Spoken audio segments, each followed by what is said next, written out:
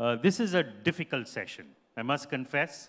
Uh, it's a session where we have 50 retail CEOs, builders of companies, those who've actually helped to be able to either build a retail network or build a brand or do both, or sometimes in India and sometimes internationally. Uh, what we are hoping to do is to be able to get each one of these people to speak. But when I say speak, it's not like a long five minute speech, it's just a one minute snippet. And the one minute snippet is about things that they did in the course of their journey, which has helped them to be what they are, which has helped their companies to be what they are, uh, things that they have learned uh, at a professional and at a personal level, as well as things that each one of us can take away. And I understand from uh, Anjali and Amitabh that they're capturing all of these snippets of wisdom and then making this into a book which will be given at next year's IFF. So please make sure that you attend next year's IFF also because you need to collect your book. So we'll start. I know we got a long session, so we'll start. It's difficult, and each one of these speakers only speaks for a minute. That's the most important thing, so just a minute. Uh, what we'll try and do is we'll call these speakers uh, by name and in no particular other than the alphabetical order. Uh, we'll try and get mics across to wherever they are because it'll take a minute for them to come up to here and say something and go back. So we'll get mics to wherever they are. And uh, hopefully we'll have an enjoyable session. Uh, no question and answer sessions. If you want to ask anything, please, you know, accost them when they are leaving the hall or during the course of the next couple of days. If you want to get some advice, uh, get them to consult for you uh, in terms of what you could do better. All of that stuff can be done uh, on the sideline. So start Ajay Jain, who's the director of Basic Clothing. Can we get the mic to him? Sir, if you don't mind standing, that would help. Hi, everyone. I'm Ajay Jain from Basic Clothing. I started my company 30 years ago. Currently, we have a portfolio of 70 EBOs across Reebok, uh, Pepe, and Madame. And we have a distribution business of uh, Ray-Bans and uh, Lakshita and all, across all, many brands of around 100 crores. And our focus has always been on a secondary business. Tell us how you built this business. Tell us how you built the business. What, what is it that you did differently? That would be useful. Our PR with the retailers was very high. Okay, PR with retailers, Ah, so which also extends to long credit. Yes, Then- no, no, no. no, okay. no, no. And uh, good, excellent service, secondary focus driven. That all helps to build up the Okay, business. good. So no stuffing the channel, secondary focus, great PR with retailers. Anything else, sir? And very honest in the working. Absolutely. So fair dealings with all retailers. So thank you very much. So you can take away from that all of this stuff. Anand Iyer. Anand Iyer, sorry. Anand Iyer is a CEO for Easy Buy, which is the Max Retail Division, part of the Landmark Group. So Anand, are you here? Yeah. Uh, yeah. Morning. Morning, everybody. I think uh, I represent uh, the, the youngest initiative of Landmark Group, which is Easy Buy. And as we saw in the morning, the huge opportunity in the smaller markets. So the Landmark created this format, especially for India to penetrate these smaller markets. And as we entered the smaller market, there was a lot of challenges in terms of we had to innovate at every area. Now, our innovation started right from the you know, fiber to fashion ecosystem, where we created a lot of MSME uh, vendors who have grown with us from 50 machines to 200 machines, uh, because that's how we can deliver value and delight the customer. And the next was how do we you know, make our uh, format little more express format where we are able to manage cost so that the profitability happens. Because today's forum is about DNA on profitability. A lot of people keep talking about valuation, but in Landmark, we believe on profitability. So the, there are a lot of innovations. I think in one minute, I cannot complete it. But I think, yeah, a lot of Great. process so innovation. The, Yeah, so the thank you. three things we can take away is focus on small towns. Uh, the second is in terms of partnering with MSME suppliers to make sure that they're able to get products out at affordable costs. And the third is to be able to run a tight operation, uh, small formats, which are extremely productive. So thanks, Anand. The, the next speaker is uh, Ananya Rajguru, who's the founder, creative director of Misfit. Oh, yeah. So Ananya's, you know, crafting style with construction. Is that what you said in your about us on your? Please stand, if you don't mind. So we're still a fairly a new brand. We launched about a year ago, and what has really worked for us was collaborating with the right people. And within three months, Vogue had contacted us for a cover shoot, and Madhuri Dixit had worn our jeans. So after that, we got a really good response, and we were reaching out to the right customer market. So being present in front of the right market has something that has helped us. Great. So you do tailored uh, clothing? Uh, no, we do ready to wear. So we have a denim line and an activewear line. Okay, okay, sure. So great. Uh, thank you very much, Ananya. Uh, the speaker after this is uh, Aparna Tyagarajan, the co-founder and the chief product officer of Shobitham. Thanks, Aparna. Hello, everyone. A very good morning. Um, co-founder Shobitham. Shobitham is one of the fastest growing D2C ethnic fashion brands, serving customers, tens of thousands of customers across 40 plus countries. We represent the rich heritage textile arts and crafts of India from the length and breadth, unlike any other. We are here to disrupt the space with our rich technology stack. As you all know, the space is highly fragmented, so we are here to make a difference. And we provide Silk Mark certified quality, global, fast, and free shipping. And I think that's the reason why we've received 7,000 plus five-star reviews and an NPS of 71, 91, which is one of the best in the industry. And being so women-led... tell us how you're different. Yes. Uh, our unique selections, we work directly at the grassroots level we disrupt the space. This space, the handloom arts and crafts, is the second largest industry after agriculture, very archaic, and we are here to make a difference with our rich technology stack. Great, great. Going One back into tradition. Yes. And uh, what Akhilesh talked about, you know, we have a tradition which China doesn't. Agree, and we are here to preserve it while innovating. What you see is an example of that. Lovely. Thank you. And we are women-led, and we partnered with India's premier institute, BITS Pilani, and created the Shobitham Center for Women Entrepreneurship, which is the first of its kind in India. What the center aims... Round of applause, you know, for somebody who started, who's a startup and who started uh, Entrepreneurship Center. Yes, we started on Women's Day less than four years ago. And we have the center which aims at honing and building women entrepreneurs to close the gender gap, one women entrepreneur at a time. Thank you. Thank you very much. Lovely. Uh, the next speaker is uh, uh, Apeksha Gupta, CEO of John Jacobs. A very good morning.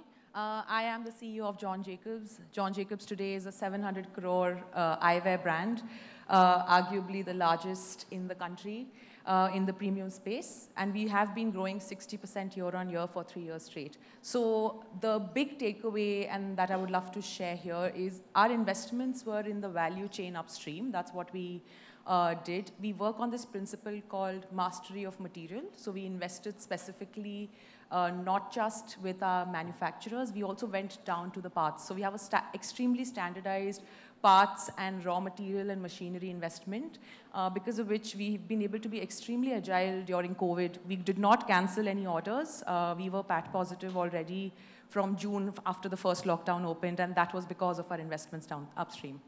Thank you. Thanks, Apeksha. I'm wearing John Jacobs, so it's testament. We have two and a half doing. million customers, by the way. I'm one of those. Okay, now the next speaker is Arun Narayan, who is the VP category marketing and retail of Tanishq, an old colleague of mine from Titan. Thanks, Bijou. Uh, allow me to stand next to you. Uh, morning, everyone. Bijou, you know this, uh, uh that historically at uh, Tanishq, we've always looked at areas where consumers have been underserved in our category, and that's how we've uh, created value. The last couple of years, uh, we got a lot of downtime thanks to COVID. So we doubled down on some of those areas and uh, under an approach that we called solve versus sell. Uh, there wasn't much of selling to be done in some of those uh, periods of uh, lockdown. So uh, some of that solving really helped us to come out of COVID uh, much stronger than we entered. A learning that I'd like to leave behind and a realization is perhaps value creation discussions sometimes get, sometimes they get a little seductive. Uh, there is another uh, perhaps boring but uh, equally important side of it, uh, which we'd like to call value capture, where sometimes, you know, tightening some screws and hammering some nails helps in not losing the plot. So I'd just like to so leave that. So one of the questions I think everybody is very keen to understand is, how do you get to be 30,000 crores or plus? you just keep adding it one by one and then it adds up, Bijou. Good. So thank you. He's not going to give you any secrets uh, at all in no terms secrets. of how to get there. Thanks. Thanks, Arun.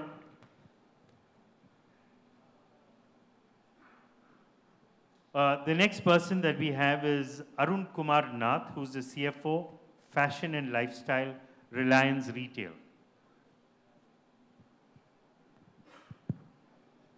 Good morning, all. Uh, my biggest learning, or rather our learning over the last uh, three, four years has been to unlearn everything that I've learned in the 24 years prior to this last three years. That has been the biggest learning. And now, and once you unlearn what you do, you have to get the, get the drift of what's happening externally, right? you need to understand what, uh, what the external ecosystem is expecting from you. So that was, that was the thing. Like you unlearn everything, get to know what's happening externally, move with that, while remaining focused on your uh, long-term objective. So that, that has been the story in the last three, four years. And the brands and the formats that have done it very well have emerged successful after COVID.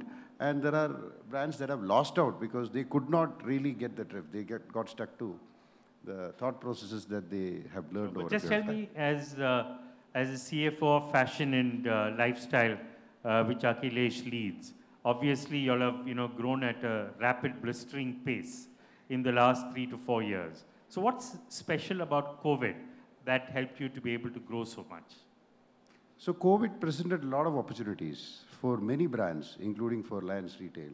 So basically, you are looking at how the consumer behavior is changing, what are the new requirements that are coming from the consumer side, how can you really exploit some of the markets, and also understand the changing profile of consumers. Now, where consumers would want to shop, how do you want to shop? Don't waste time when there is COVID, and just respond to the changing behavior. So that's what a lot of brands that emerged successful have done during this period. Sure. Thanks. Thank you very much, Arun. Sorry? Thank you, you, you can answer. In fact, you're not part of this group, so why didn't you be? Simple. I think COVID was our biggest uh, growth opportunity uh, because the competition and the rest of the industry kind of went into hibernation. So uh, it was an opportunity that we picked up. Uh, we real estate, uh, expansion of network with competition two years behind you uh, I think that was the biggest opportunity. So good. I can tell you that, you know, Reliance is all, I was there in 2008-9 when the global financial crisis happened. And I can tell you that Reliance used it to its advantage in being able to do several things which competition did not do. And uh, that's the advantage of being a cash-rich company. Okay, the next question is, uh, the next person rather, is uh, Ashwini uh, Sheth, who's the CEO and founder of Denizen India. Uh, do we have. Can we get a mic to Ashwini, please?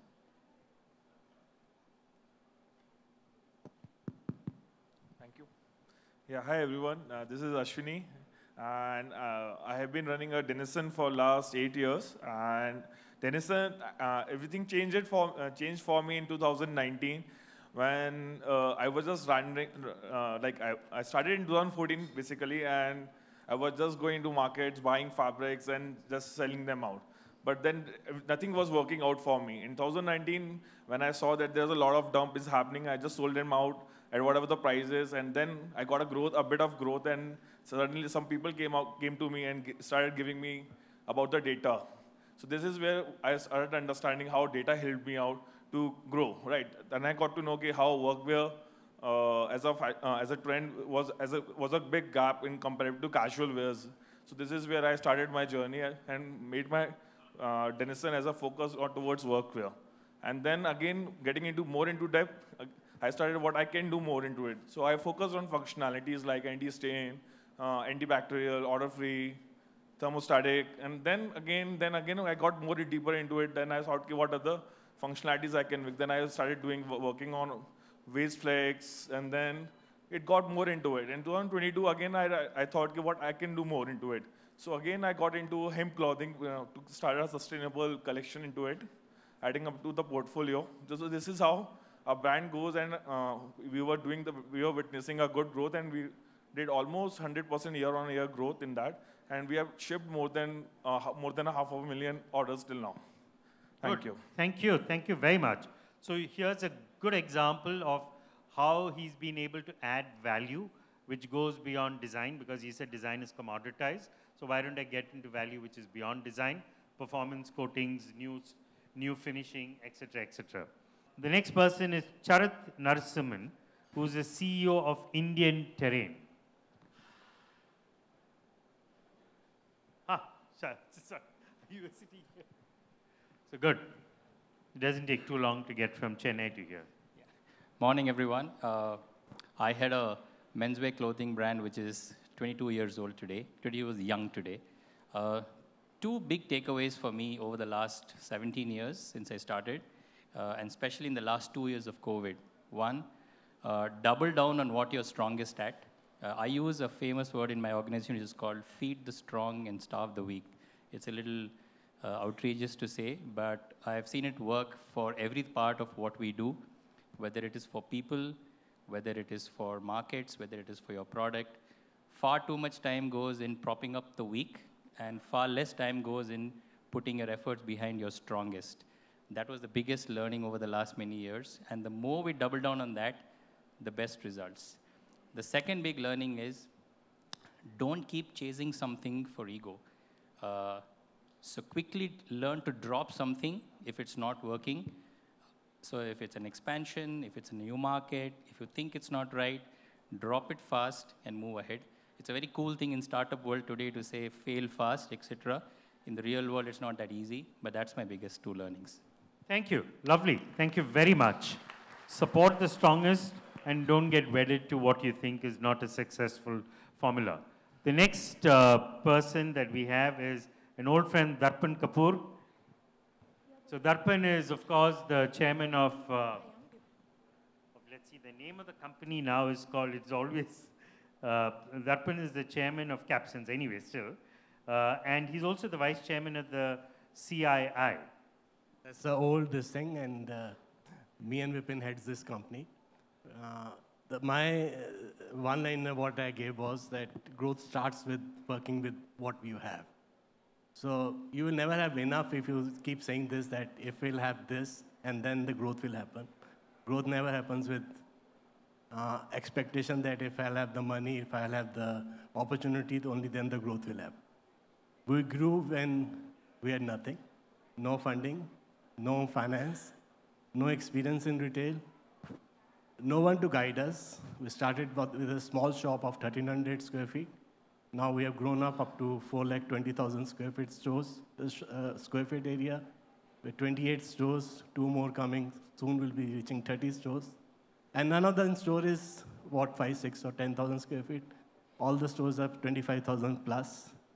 And we are expanding just because of this thing that we learned the business of our own.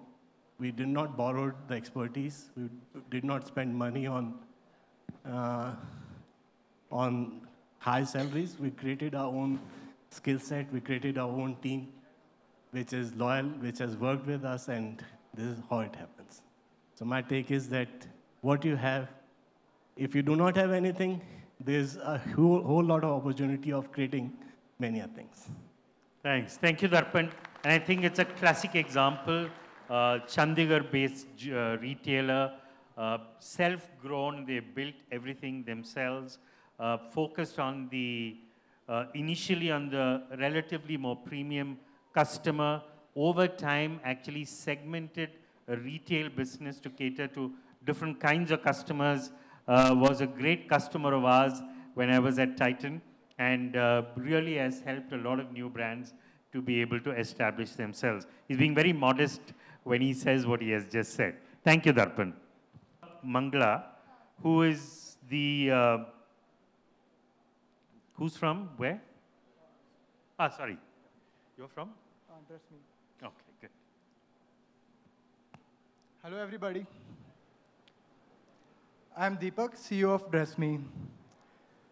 Right now, if you go to retail stores, one of the main reason is uh, you believe that you will not be able to find perfect fit or good-looking clothes uh, on in online. You don't know how you will look in those clothes. Okay, so we are solving this problem using virtual try-on, and we believe in around three years, almost most of the market from offline will be captured by the online. Okay, and with the recent breakthroughs in generative AI, the technology has become so good that we have been able to generate almost perfectly realistic results of virtual try-on. Okay, so we have already generated some results on some celebrities and also for some honorable speakers here. So I'd like my friend to present results with all of you. Uh, these are the results on Emma Watson that we have generated with our algorithm. Okay, so as you can see, these are looking perfectly realistic. I believe there is no other company in the world that is able to give so good results. Okay, and we are also showing results generated on speakers right now. Kunal, please show the results generated on Shailesh, sir. Yeah, these are the results on Shailesh. and Let's we also Shailesh. have results for Vinit, sir. You're doing very smart here, Shailesh. I must say. What about Anish? I can see Anish Yeah, also in some. Yeah. Vinith. So we believe this is the technology uh, and this is the future. This is, I believe, it will completely revolutionize the way we see the fashion these days. Thank you.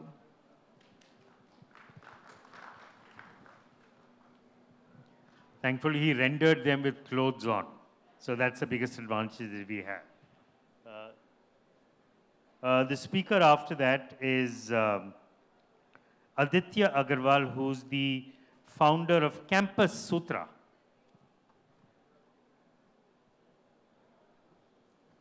Hi, thanks Bijou for having me here.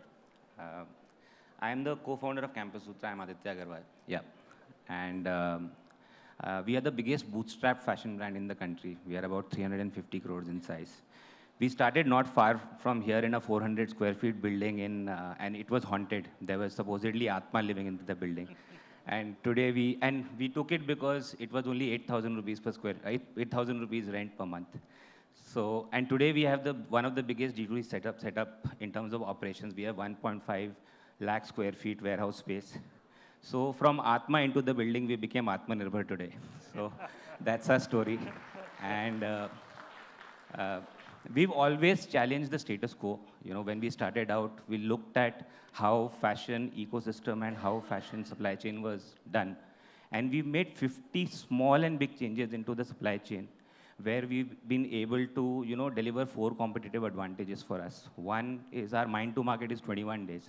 If I like the shirt that you're wearing, I can bring it to the market in 21 days. We sell everything in 60 days. Our sell-through is, our sell-through is about 99%. And we deliver uh, consistent customer experience across the eight years that, been, that we've been in existence. So frugality and challenging status quo, these are the two main learnings that I have. And that's my one minute. Thank you. Thank you. Lovely. So obviously that, you know, when you talk about mind to market 21 days and uh, full price sell through of 99%, I think, you know, given the fact that you started from haunted beginnings, those thoughts I'm sure will haunt a lot of people in the fashion industry. Uh, the next is Dhruv Bogra, country manager Forever New. Dhruv's also an ex-colleague from uh, Titan. Thanks, Bijou. Great to see you. Uh, good morning, everyone. Uh, it's been an amazing journey for Forever New. It's a bridge to luxury brand uh, for women uh, from Melbourne, Australia. So we design and we manufacture over the world and deliver into India. So obviously we have a lot of challenges with imports and also meeting the right kind of price segment. So. Dhruv, forget about all the Yeah. fashion. Lots Yeah. of people have spoken about fashion. Okay. Tell us about your bicycle ride across the Americas. Oh, okay. that seems to be the hot topic every time. Well, uh, in 2016, um, I quit my job at Adidas. I was the retail director there.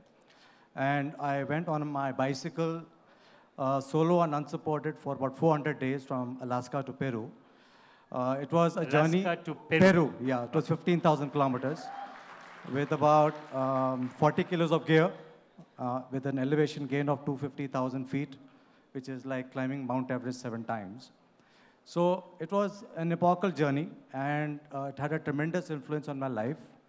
And I came back with a lot of learnings. I composed some into a book called Grit, Gravel, and Gear, which incidentally became among the top 100 selling uh, titles in crossword bookstores across national and international titles.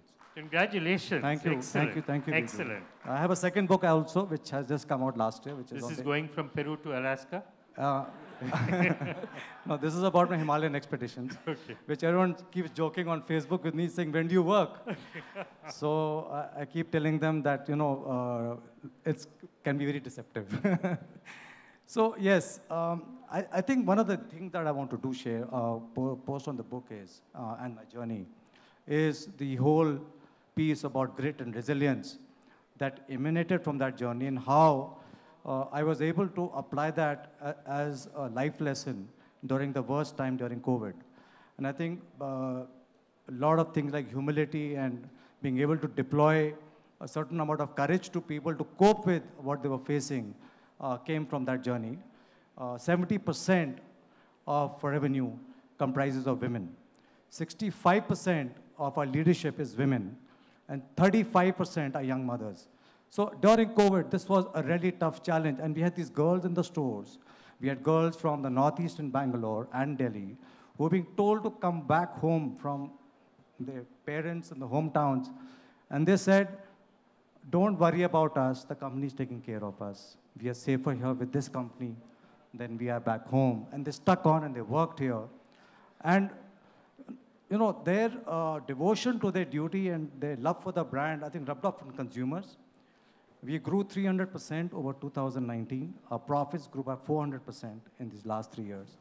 And I attribute it to the women. You know, the, the leadership skills that they all displayed at decision-making levels, the grit and resilience that I'm talking about, they, they really displayed that. So I think the biggest value creation in the last three years has been women empowerment in the business and a company run by women for women. So Thank you. That's the biggest Lovely. one. Lovely. Thank you, Bijou. Uh, the next speaker that we have is Dilip Kapur. Dilip Hi. is the uh, Um, is a founder, president, a creator of the brand called Hidesign and the business around it. Okay, um, look around everyone and I see lots of incredibly smart people in figuring out profits. I think it took me 20 years to learn how to do my P&L account. You and I are both Gen Z. You you know what Anisha asked, so don't uh, look around and see others. okay. Um, I think uh, I found it interesting when Akhilesh, whom I had actually never met, um, mentioned about uh, figuring out your identity. Um, I think that's what we've been most concentrated on is figuring out the identity of Hidesign. And I've always thought of Hidesign as a person. I think it's a person, and we need to figure out who that person is. And the tendency, as in all of us, is to make it fatter and fatter and broader. And then you have to keep cutting it back and cutting it back and making it narrow. And um, first thing is, I think we have to figure out his heritage. It didn't take long to figure out we were not from Milan or London or Paris. We were just a small town Pondicherry boy. And so we figured that out. So what is it that made us special? What is it that makes the brand Pondicherry person? Um, after that, I think we were forced to keep his identity, do a lot of things ourselves. So we got more and more vertically integrated. Uh, from doing stupid things, not only like making your own leather, but also making your own buckles because we wanted them to be brass, like no one else would do. Um, things like that.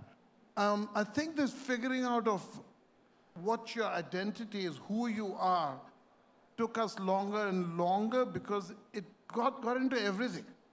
I mean, it, you know, it really, the person you hire uh, has to fit into you, otherwise they drive you nuts. You know, so everywhere, the store experience, the store identity, uh, we couldn't take off the rack anything. We ended up everything, customizing everything and making a lot of mistakes. Uh, so Dilip actually has a fetish for this brand identity. He kind of works very hard at it, make sure that nothing goes which doesn't pass his eagle eye, and if it doesn't meet those exacting standards that he has set, he won't accept it. How did you expand this into hospitality? Well, I think that was a hobby more than anything else. That was just fun. it's an um, expensive hobby, but nevertheless. Um, no, I think when you have an identity, it actually, I mean, the profitability actually comes quite automatically because you do get a larger margin. I think that's uh, profitability has been less of a problem. I think the bigger problem is growth because you're concentrating more on, you know, brand and identity and not so much on the business end of it.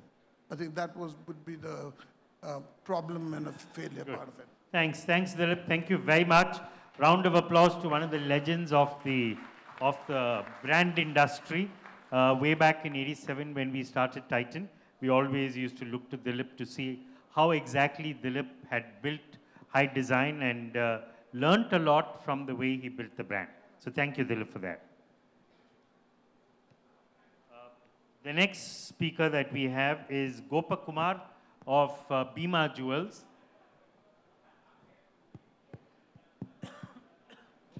Talk to us about the pivot that you've done in a brand which is so old. Right. Uh, good morning, everyone. Uh, uh, thanks, Bijou, for having me here. Uh, I represent Bhima Jewels, which is a 98-year-old uh, legacy brand. And we have operations spread predominantly in South India, also in UAE. Uh, we are expanding, uh, definitely uh, into large format stores and looking at other parts of the country. Just, just to answer that, and I'm going to stick to the script, Bijou, that is a story a minute, and I've kind of rehearsed it on this Bangalore traffic, and people must be wondering, was I muttering at them, you know, for overtaking and things like that. But nevertheless, um, you know, this was uh, my stories about, uh, you know, how you can collaborate well with uh, other partners who are in the other industries, like services industries, and get great insights which you could use for securing your profitability and your business. So we have been transforming and we've been bringing in a lot of technology in a very, uh, let's say, tepid way uh, so that it's acceptable.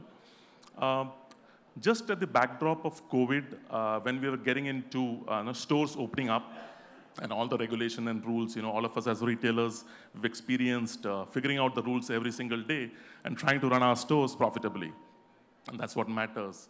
Uh, so we were, I was really thinking along with my team, you know, uh, would consumers really come and buy jewelry now? Because, you know, basic existence and food and grocery and all of that is what is so important. And I incidentally used to work with Future Group earlier, leading food and grocery, and I came into jewelry, and so I was wondering if I was in the right profession or not.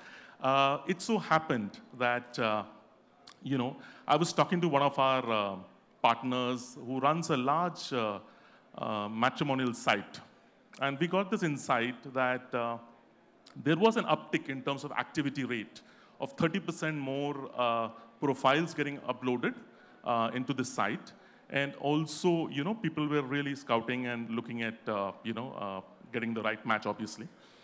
This insight uh, and the rising gold prices, you know, uh, the gold metal is a precious metal, you know, it just rose up post-COVID. And uh, uh, obviously it was a concern that we were thinking consumers will not come to us because A, wedding was a question mark, which is the mainstay of the business. 25% of the business really comes from wedding and large ticket purchases. And also, uh, you know, uh, the gold prices would be kind of a deterrent for consumers coming into our stores. But we ran an initiative along with our agency. Uh, we came out with a advanced, smart advanced purchase plan, which was basically giving consumers a window of 11 months wherein they could come and, you know, block the rate. Uh, so the gold prices, they would be insulated to that extent.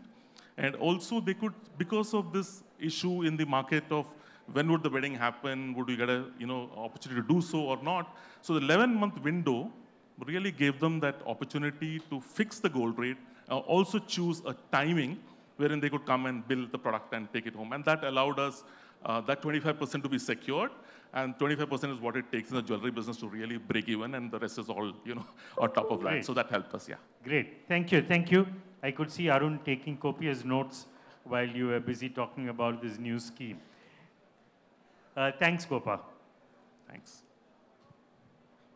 Uh, the next uh, speaker that we have is Indranath Sengupta, who's a founder and CEO of a brand I see all over, which is Kompanero.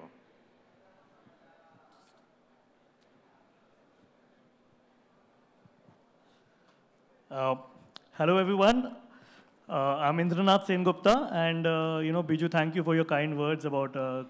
It's uh, relatively we are a new brand. I started in 2014. First, I would like to thank everyone for their great insights because you know this has been such a good learning experience from for me, learning from the stalwarts of the industry. Uh, for Kompanero, you know, when I started the brand, I knew nothing about um, making a brand or nothing about the retail industry. I was quite naive actually because all I had was, all I focused was, was making a unique product. We focused rigorously on making a unique product language, unique design language, unique identity. And uh, once we had that, then we started around making a brand around it. And we started from a small kiosk, which is about 50 square feet right here in Bangalore.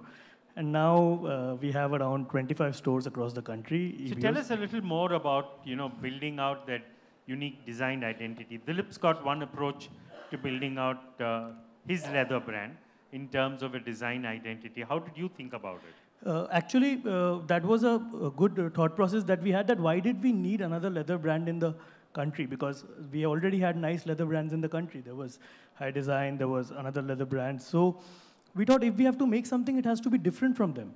There is no point making a product and uh, which is available in the market. So we set around making a product that is a completely different design language, and whoever looks at Kompanero today in the market can probably uh, vouch for the fact that it's something different, not similar to the uh, a different brand's design language. And we still stick to that. I think that has not been replicated. We have been lucky with that. But every day is a learning, and we are learning through it. That's, that's Thanks. one of the Thank insights. you. Thank you, Indranath. Thank you so much. And I think it's a great story of, you know, build a brand, build a business around the brand. And there are several companies, and I think you'll hear in the evening more about this from the Titan stable. Uh, the next speaker that we have is uh, Jacqueline Kapoor, who's the president of Ayesha Fashion. Do we have Jacqueline? Or, ah, Jacqueline's there. Can we get a mic to her? Morning, everybody. My name is Jacqueline Kapoor, and I'm the CEO and founder of Ayesha Accessories. Um, I think in the space of fast fashion, we all have the same problem. There's always somebody who's cheaper than us. Uh, with Amazon offering thousands or even millions of options, how do we stand out? Um, and I think the key is here to build an emotional connectivity with your customer. So how do you do that? You do that the same way as you do that with your family, with your peers, with your friends. And um, as Dilip said, we have to have a person, but I think we do have to have a tribe, we have to have a family. So how do I do this? First of all, I think we have to be good listeners now. All our customers have a voice now. They can give you reviews, they can give you, um, they can destroy you by a bad uh, Instagram post. So we have to be listening and we have to implement what they have to say to us. So we have to offer a connection. Then we have to share the same values and the same visions. Now, what values could that be? As we saw before, it could be sustainability, it could be social, um, social issues like women empowerment, etc., etc. But then we have to be very careful that we don't lie, because that can backfire, and it can be found out in one simple Google search. So if you promote power for women, don't cheat on your wife. If you um, talk about sustainability, don't mass produce in China because people find out very quickly and then you lost your customer. The next thing is you don't want to be the cheapest because that somebody else is doing for you already, but you cannot also be the most expensive. Don't overprice. You have to be fi financially empathetic to your customer. And um, so don't lie. I said already the last one, make it fun. You know, Sorry? the young, make it fun. Okay. Uh, your buying experience, whether that's online or offline, should be an experience. It should be, you know, our generation Z and Alpha customers have a very, very short attention span. So how do we capture that? Well, a little bit tongue-in-cheek promotions and marketing things would be helpful. Um, and don't be the boring old uncle who tells you what to do, when to do, and with whom to do. And I Thank you. Thanks, Jacqueline. That was, you know, Thank you. a master class in the four P's of marketing, as they say. Uh, every single aspect of it was covered. Uh, uh, the next speaker that we have is Jigar Patel, who's the founder and CEO of G3 Fashions. Do we have Jigar around? Can we get a mic across there?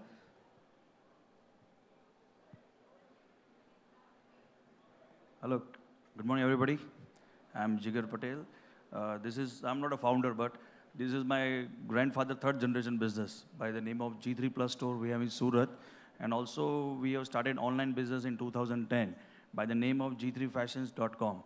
So I have here everybody, the last speaker, I forgot the name, but she was telling about the experience, customer experience, and uh, the retail customer experience, and about the wow feeling of the retail. So I just want to share uh, to one minute about what we did in 2010.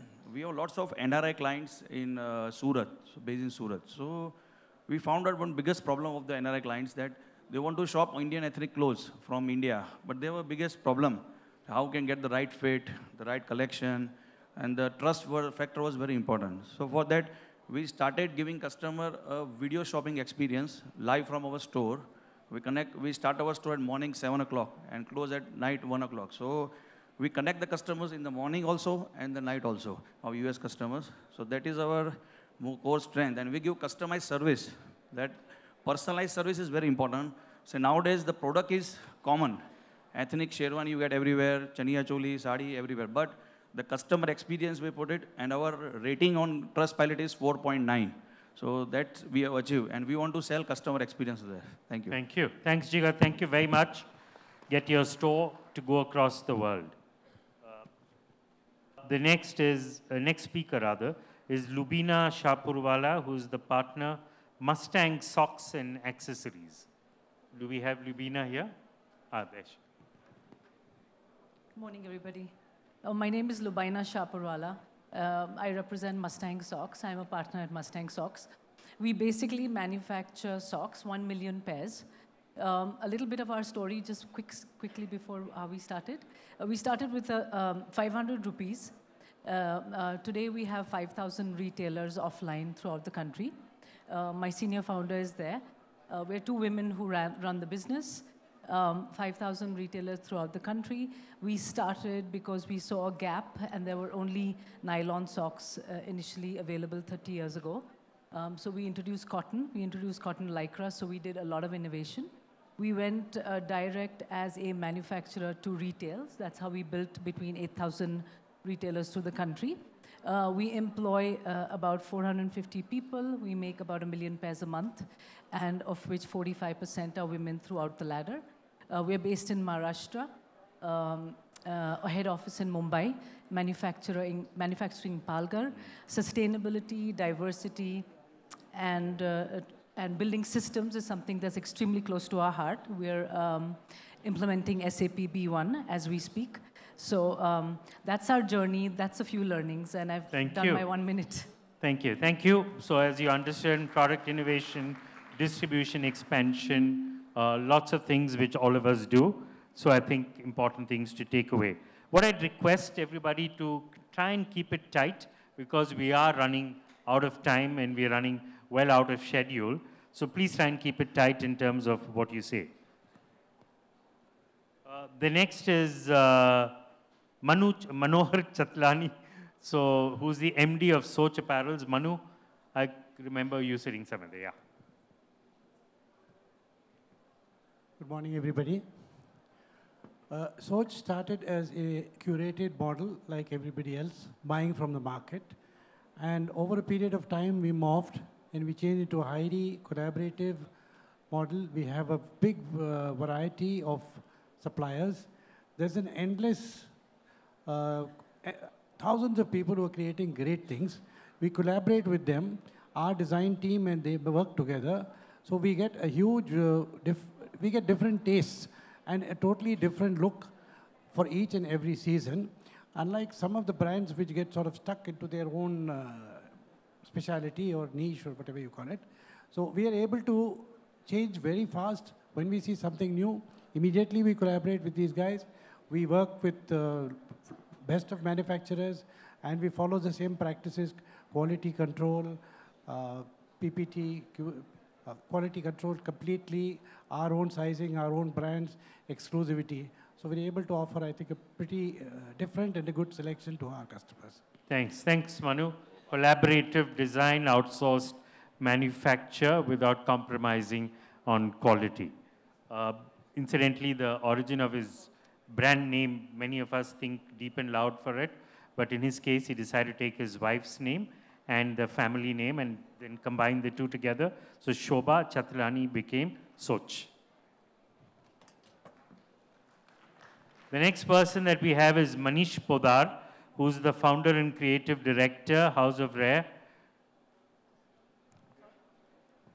Ah. Thanks, Manish. Rare rabbit, we've often heard. Good evening, everyone. Thanks for having me here. Thank you, sir. Uh, my few messages from my learning uh, growing this brand in the last seven years, if I negate COVID, it's just about five and a half, six years. Uh, we had to run a 400 crore business today, and in fashion, with all the competition and all availability around. I started this brand only with a thought. Uh, I come from a fashion background, uh, not academically, but by choice. And I said, we must create something. We had formal wear, we had denim wear, and let's say, let's create a smart wear in the middle which didn't uh, exist uh, in one place. It exists with various brands. Uh, the gap was realized. The gap is needed to be realized in businesses to be formed. Uh, the second step that we took was once the gap was found and we realized that our customer behavior was running at almost 40% of repeats, uh, both online and offline. And the third step, we real, uh, second step on that call we did is we went bullish because my veteran, uh, my dad, my mentor, he always told me business is equal to opportunity and it comes for a small moment. So when it comes, grab it, otherwise it's gone like a train. So we are uh, pretty rapid uh, this year and the next year. So that's the second one. The third one, I'm, uh, someone asked about Zenzi and I'm very traditional. Uh, and uh, I believe that made in India is the next way to go. Uh, I have done some overseas business all my life. Actually, most of my life I've been overseas, but I feel that it, the next decade or decades to come is India. So believe in the made in India concept. Not just made, but uh, it's a small and a large term at the same time, made in India. It's very small when it's in the label. And it's very large when you showcase a very large representation of brand that, wow, this is made in India. And that's what I would uh, see sure. India to become. Thank you. Thanks. Thank, Thank you, you very so much, much Manish. The next speaker is uh, Nitesh Kanchan, CEO of Sephora India and the CDO of Arvind Fashion.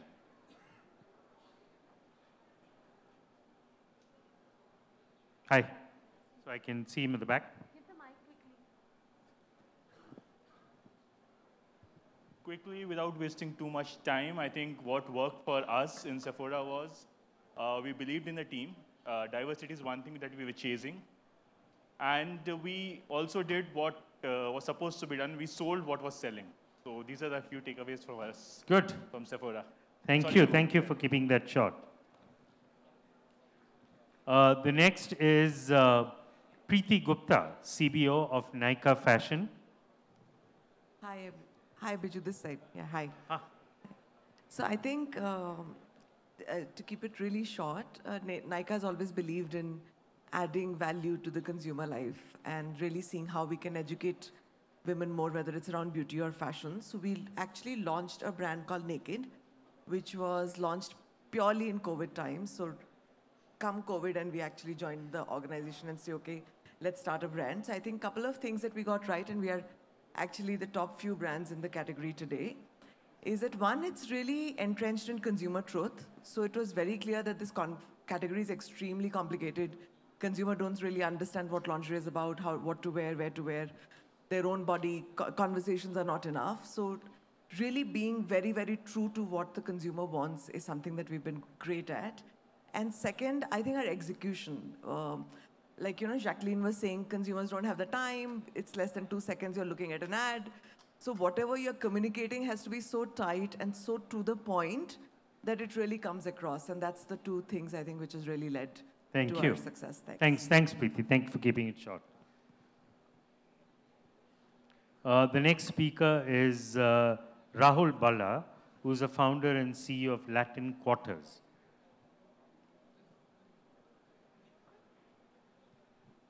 Uh, good morning, everyone. My name is Rahul. I'm the co-founder of a women's wear brand, Latin Quarters, with over 5 million consumers. Uh, for us, I guess our journey, and especially the last few years, uh, what we have understood and learned is that we have to stay focused on a consumer. We have to uh, believe in what we do well and not always let the outcome define the process. So a lot of times we take risks and if things don't go as per us, we are very easy to change. I think uh, that's something, in, especially in the fashion business, you have to believe in your process and just uh, stick to your identity. Thank you. Thank you. Thank you very much, Rahul. Rajesh Jain, uh, MD of Lacoste, a legendary brand.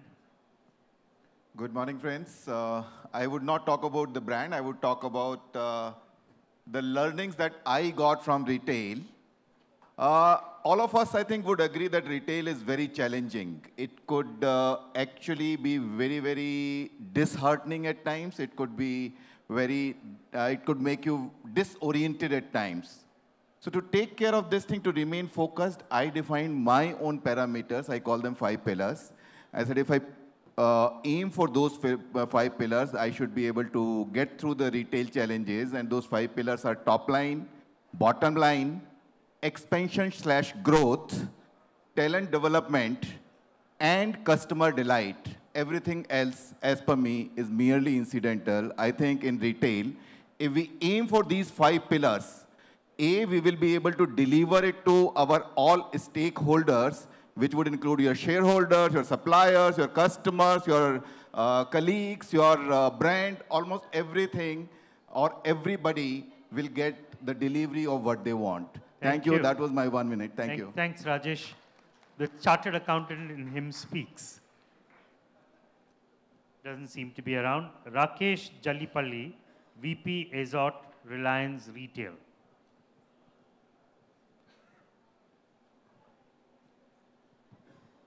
Hi, hi, hi everyone. Good morning. Uh, I represent uh, one of the youngest brands, uh, Azorte, which has launched recently. We launched in September. It's a one-stop destination for uh, fashion and lifestyle. We are catering to the growing needs of the millennials and Gen Z that uh, we heard a lot about today. Uh, and we have actually used technology as a big lever, uh, which is a great differentiating factor for this segment. We already are working on product innovations as well. But uh, technology like self-checkouts, then smart trial rooms, these have been a great differentiator in terms of giving an elevated consumer experience. And this uh, crowd, I mean, this uh, Gen Z category of customers really love to be independent. So we built uh, the store around elevated customer experience, and uh, I think that's the way forward as per uh, what we feel. Thanks. Thanks, Rakesh. You must try and tie up with the IFF to take everybody on a retail study tour. Yes, yes. In fact, our store is right beside in 1MG. yeah. So please feel right. free to visit the store. Rohit Aneja, Director of Paragon Apparels. We have Rohit. Ah, yeah, eh, sorry. yeah. Uh, we are good. Uh, good morning. We are uh, Biblu. We launched a brand which uh, started in uh, shores of Lake Como and shores of Lake Como, uh, sustainable, made-to-fit women's brand. Uh, we are trying to build a sustainable and a slow, conscious brand and launching soon in India as well. Uh, right now, we are available in markets in Germany and Italy. Uh, I just leave you with one proposition here that when we ask people, we ask consumers to buy less, can a brand be profitable still? Can, can a brand ask to be st still in the business of profitability and making more sales? And we are asking um, consumers to buy less. Thank you. Thought provoking for all of us who are busy trying to maximize sales. What does slow fashion mean? Next speaker is Rohit Singh, COO of PVH Arvind Fashion. Hi, good morning. Uh, my story in a minute would revolve around, you know, we lead two internationally well-renowned brands like Calvin Klein and Tommy Hilfiger. What we focused on is uh, finding people who are every time smarter and more intelligent than the existing lot of people and going across the country and hiring them. And we've built an entire, uh, this whole setup around that one uh, focused approach of finding the best people for us. And 80 rupees per square feet per day is the result so far. Thank you. Thank you. Thanks, Rohit. Building smarter teams. Speaker after that is uh, Sandeep Pal, CEO of Tasva, which is uh, AB Birla Fashion. Hi, good morning, everyone. Uh, what a fascinating day so far. Uh, at Tasva, we are a new brand, a little over one year old. What we truly believe is that uh, being obsessed with the product uh, is very, very critical, and we uh, spend a lot of time polishing our proposition on the product. One example of that is uh, typically when you think of a bandhgala, it is supposed to be very stiff in a collar. I'm wearing one, which is very comfortable, as comfortable as a Western jacket, which most of you are wearing. And uh, we've spent a lot of time and energy in polishing our proposition. We continue to do so. We are a work in progress. But Testimony, one-year-old brand, uh, we are a brand which is getting 91% net promoter score and about 40% in repeat business. So that's how we believe uh, we will be able to win this game and continue to work Thank on you. this. Thank you so much. Thank you very much. Uh, speaker after that is uh, Sanjeev Rao, who's the CEO of Being Human Clothing. Thank you, Bijou. I'll uh, not take much of your time. Uh, as the name says, being human, uh, well, uh, quickly, just to let you know that there are two circles that we straddle. One is the conscious circle, and one is the business circle. While we talk about efficiencies of retail, good fashion, affordable fashion, all of that is on one side that we any which ways do. Uh, the larger motive for us as a brand is, uh, in fact, my COO is sitting right here. And uh, in about two hours back, we were sitting in my room and telling him that, hey, in this AOP, we need to build in an addition of about 25 crores because we have so many surgeries to do and so many schools to sponsor. So uh, we are a purpose-led brand, and the purpose for us is to give back. Uh, that's what we believe has created the stickiness with uh, the Gen Z and the millennial uh, consumers that we serve.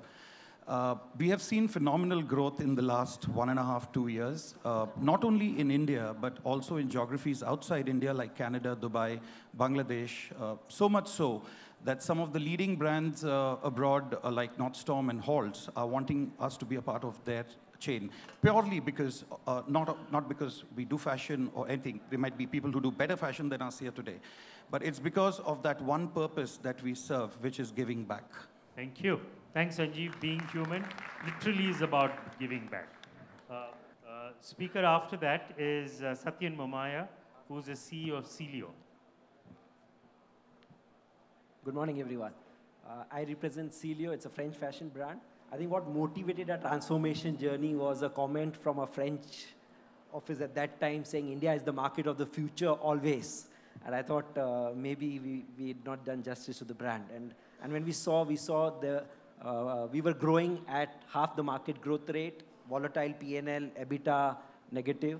I think what really worked was uh, putting together a vision, a goal, and the four growth pillars, uh, starting with winning with the consumer, winning with people. And I think being consumer obsessed, executing without excuse, the team has flawlessly executed on the four priorities. And I think execute without excuse mindset has helped us not only turn around uh, to be profitable, but growing 3x the market growth rate. So Thank you. Thanks, Satya.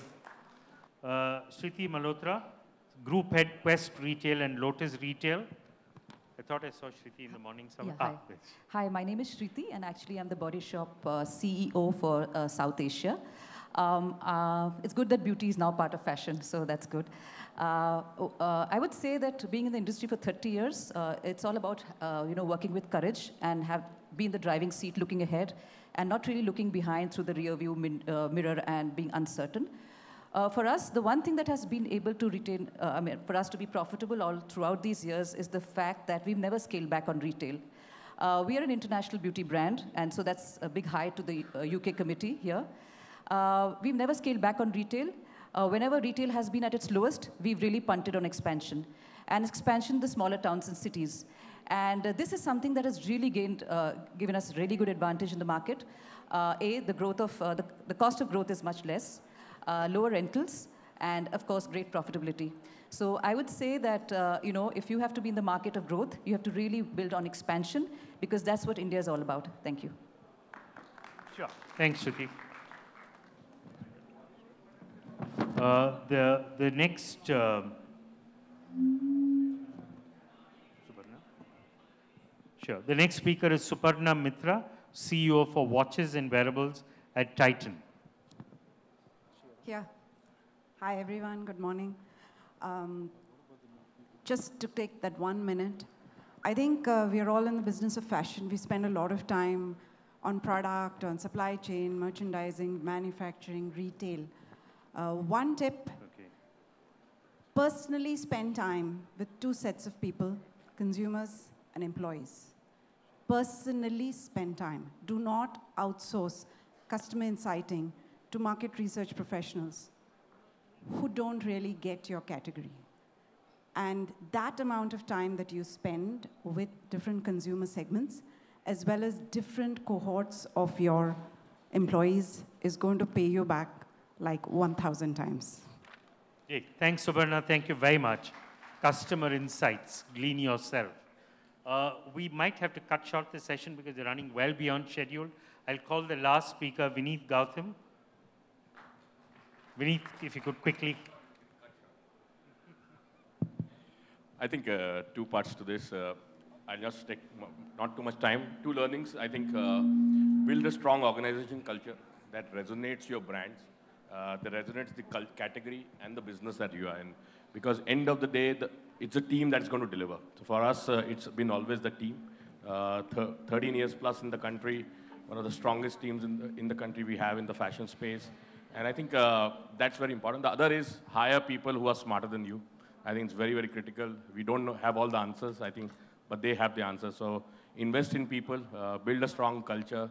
And the last, stay true to your brand promise. Don't try to do all categories. I think this is the biggest challenge I see everyone going into everything. Uh, Sometimes less is more, and I think that is what I'll lead this at. Thank you. Thank you, thank you, Vineet. Uh, I know we've disappointed some of the audience because we had to kind of look over some of the speakers, but they're going to be around. You can catch them later in the middle of the conversation and figure out what exactly to do. But I know we're running terribly late in terms of the schedule. So thank you very much. I hope you all took down notes uh, from all the insights that you've gleaned from the several people who've been here and have spoken today about what helped them to build themselves and their businesses. Thank you very much.